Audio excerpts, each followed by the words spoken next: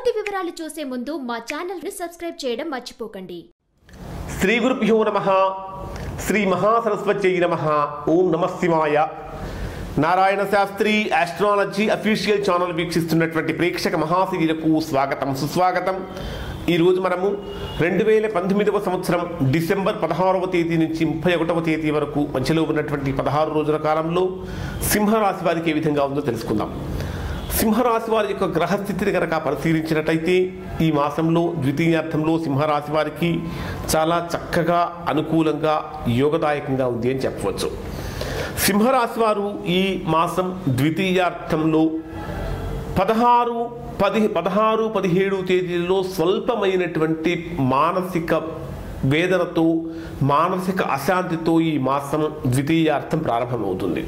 ఏదో తెలియనటువంటి కొద్దిగా అలజడితో ప్రారంభమవుతుంది. కానీ ఆ అలజడి కేవలం రెండు రోజులు మాత్రమే.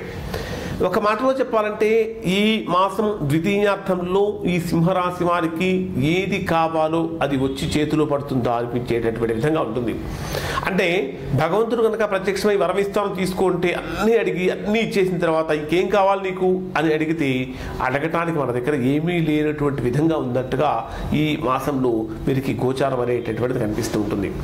అయితే ఒకటి ఏంటంటే వీరిని కనుక తీసుకున్నట్లయితే ఈ రాశి వారికి అన్నదమ్ముల నుంచి కానీ కుటుంబ సభ్యుల నుంచి కానీ బంధుమిత్రుల నుంచి అంటే లేదా మేనమావల నుంచి లేకపోతే స్నేహితుల నుంచి కూడా సంపూర్ణమైనటువంటి ఆదరణ కనిపిస్తూ ఉంటుంది.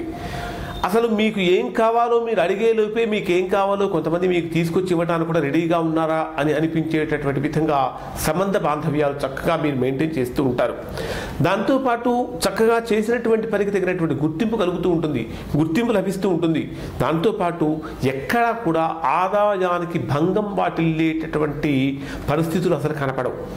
ఏ పని మొదలుపెట్టినా ఏ పని చేసినప్పటికీ కూడా ఆ పని చక్కగా అనుకూలంగా సావధానంగా సానుకూలంగా పూర్తి అవుతూ ఉంటుంది. అయితే ఒక చిన్న సమస్య ఏమిటంటే అంటే పూర్తిగా వెన్నెలనిచ్చేటటువంటి చంద్రుడిలో ఒక నల్లటి మచ్చ ఉన్నట్టుగా ఈ రాశివానికి పంచమ స్థానంలో ఈ సూర్యగ్రహణం అనేటటువంటిది ఏర్పడిపోతుంది ఇది కొద్దిగా జాగ్రత్త వహించవలసినటువంటి విషయాన్ని మీకు మళ్ళీ మళ్ళీ మళ్ళీ మళ్ళీ గుర్తు చేస్తూ ఉంటుంది. ఎందుకు ఏ విషయాల్లో జాగ్రత్త వహించాలి అంటే అపవాదులు రావటానికి అపకీర్తి రావటానికి ఇక్కడ బీజం పడుతుంది. కనుక సింహరాశి వాళ్ళు ఈ అపవాదులు అపకీర్తి విషయంలో ఏదైనా మాట కనుక ఇచ్చి ఉంటే ఆ మాటను నిలబెట్టుకునేటటువంటి విషయంలో మాత్రము చాలా జాగ్రత్తగా ఉండాలి.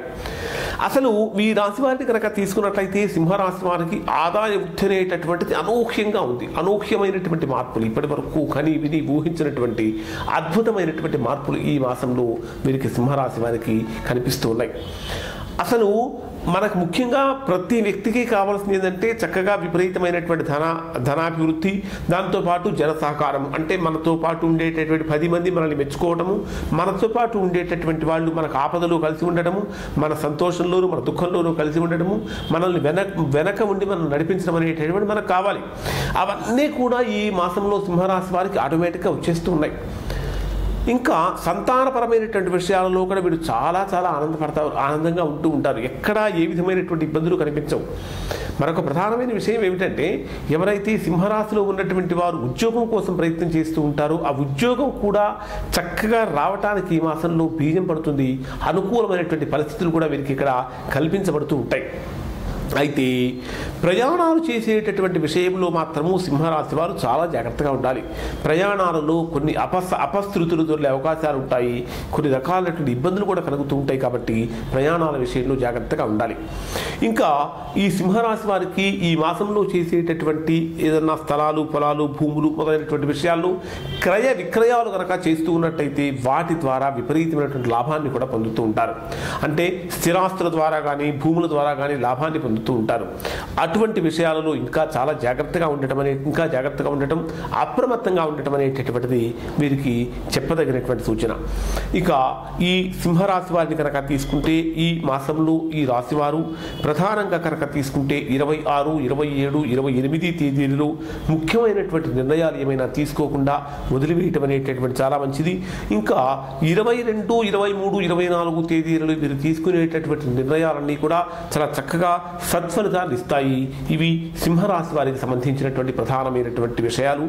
డిసెంబర్ ద్వితీయార్థం యొక్క రాశి ఫలాలు. నారాయణ శాస్త్రి అస్ట్రాలజీ ఛానల్ వీక్షించినందుకు ధన్యవాదాలు.